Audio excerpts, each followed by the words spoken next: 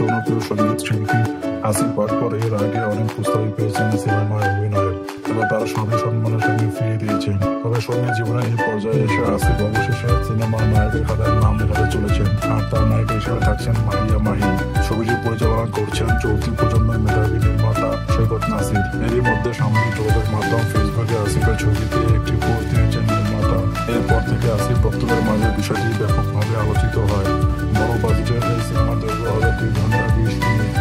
আগামীতে পরপরই ছবি শুটিং শুরু হবে। এর পাশাপাশি ছবিটি বড় পর্দায় মুক্তির কথা জানিয়েছেন সৈকত নাসির। এদিকে কিছুদিন আগে মুক্তি পেয়েছে আসিফ আকবরের গাওয়া আগুন পানি গানটি। এই গানটির মিউজিক ভিডিওটি পরিচালনা করেছেন সৈকত নাসির। জীবন